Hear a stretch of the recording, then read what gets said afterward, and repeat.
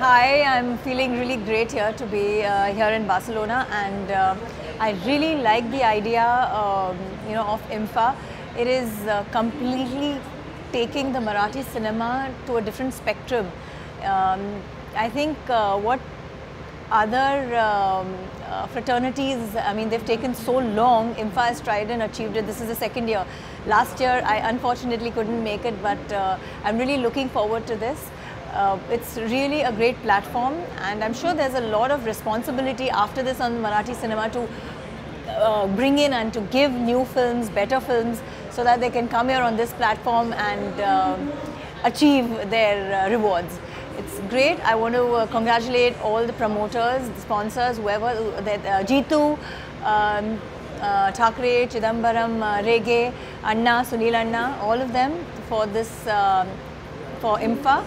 And uh, I'm here on the Norwegian Epic, which is uh, by far the uh, biggest uh, cruise, commercial cruise in the world.